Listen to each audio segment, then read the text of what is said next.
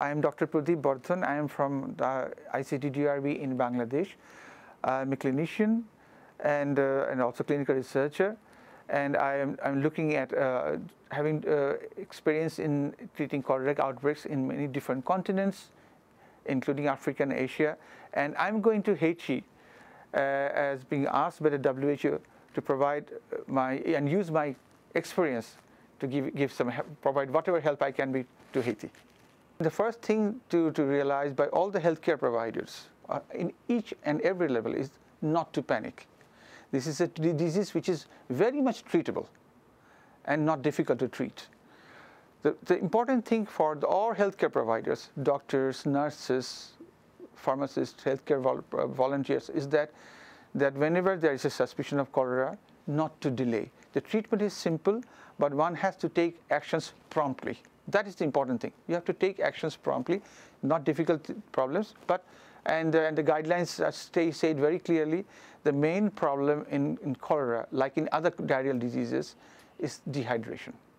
Cholera is just like any other diarrhea, just it's a little bit more severe. And that's why we have to take actions quickly. In, when patients are coming with diarrheal disease and reporting to the, in the reception for the tri triage, it's important to Im immediately recognize which patients are severely dehydrated. It's very important because these patients, because severe dehydration is a medical emergency. These patients cannot wait. They have to be immediately treated. So the important thing in the triage is to, is to, to, to recognize what are the signs of dehydration if they are there, and if there are signs of dehydration, what category of dehydration it is. What is the degree of dehydration? If it is severe dehydration, immediate actions. In many of the times, you will see that patients who are coming in, uh, in, the, in the triage with severe dehydration will have feeble pulse, or sometimes you cannot even feel the radial pulse. Immediately, you put on a needle on the, on the veins. If necessary, in adult patients particularly, you can put on several lines at a time and give on giving fluids till you can see that the pulse is returned and you can count the pulse.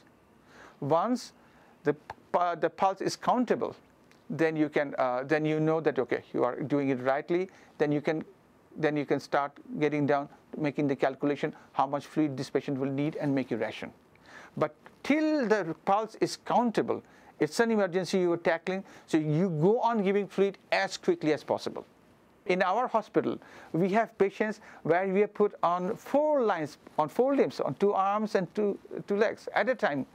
The target target should be that within three hours all the patients should be fully rehydrated.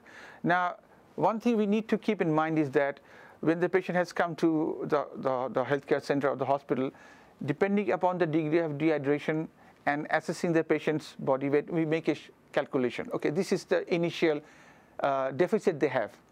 So, for example, a 50 kilo, a, a adult patient weighing roughly around 50 kilo kg has come. So the initial deficit is approximately 10%, which is 5 liters. 500 mLs of fluid, that is the 5,000 mLs of fluid, that is the initial deficit. But over the, which we should be giving over the period of three years. But please remember, and we need to remember ourselves, that within these three hours, the patient might be losing even more fluids. So we need to put on that add on on the calculation of total fluid. Use of antibiotics in cholera reduces the duration of the disease and also reduces the severity of the disease. So that's the reason why we say that yes, antibiotics should be used in cholera. Which antibiotic, as I said, depends upon the local sensitivity pattern. As, as, as, uh, as much as I know about the, the sensitivity of Vibrio cholera strains, which have been isolated from Haiti, we know that they are sensitive to tetracyclines groups, they are sensitive to ciprofloxacin, and probably they, are, they might also be sensitive to azithromycins. So uh, in, at least in Haiti, in adults, a single dose of doxycycline 300 milligram should be okay. However, in, in uh, as you know, that we do not profess giving doxycycline to, to pregnant ladies or to young children. In those situations, the other option would be using azithromycin. In an adult, the dose would be 1 gram, single dose. In children, it is 20, 20 milligram per kg, also can be used as single dose. Simple. However, we have to remember that the main treatment of cholera is fluids. If we give fluids to a patient, cholera patient, not antibiotics, the patient may, may need extra day or two to recover, but will recover. But if we have a cholera patient, we give antibiotics but no fluid, it's not good. We might very well lose the patient. We have to remember that these patients are likely to go on passing fecal matters when they're in the hospital, when they're being examined. So, uh, so the clothes, the bed sheets, they will be dirty and getting dirty. The people who are attending them will, might, might also be getting some, some of those things. So we need to also, and, and, and, and the cholera excreta is infectious. So whenever we are looking at, at looking at uh, treating and managing cholera patients, there has to be systems where we can properly dispose of those infected and contaminated materials in a proper way, not only for the patient, it's also for the healthcare providers themselves.